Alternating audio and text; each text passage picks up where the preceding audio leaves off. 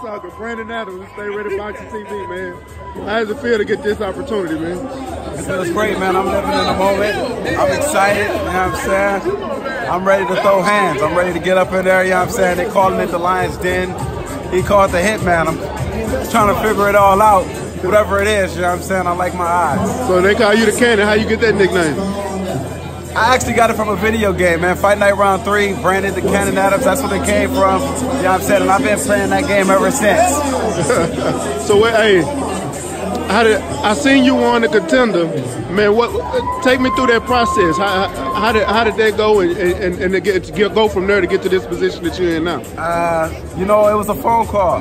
You close, you could be close to something. You know what I'm saying? If you get that phone call, and you could be far away. If you don't get that phone call, basically, uh, the opportunity came.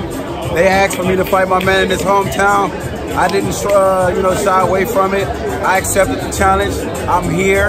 I made weight. I'll see him tomorrow. You know what I'm saying? And I'm here to win. All right. Well, that's that's all that matters, man. Is that is that you took the opportunity and you're gonna make the best out of it. So what you, what what should we expect out of you tomorrow?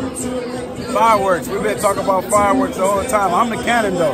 I'm supposed to go boom, so that's exactly what I plan on doing. So hey, so I'm gonna be looking forward to see what you come out to tomorrow, man. And hey, it was good to meet you. Appreciate you uh, taking the time nice out with me.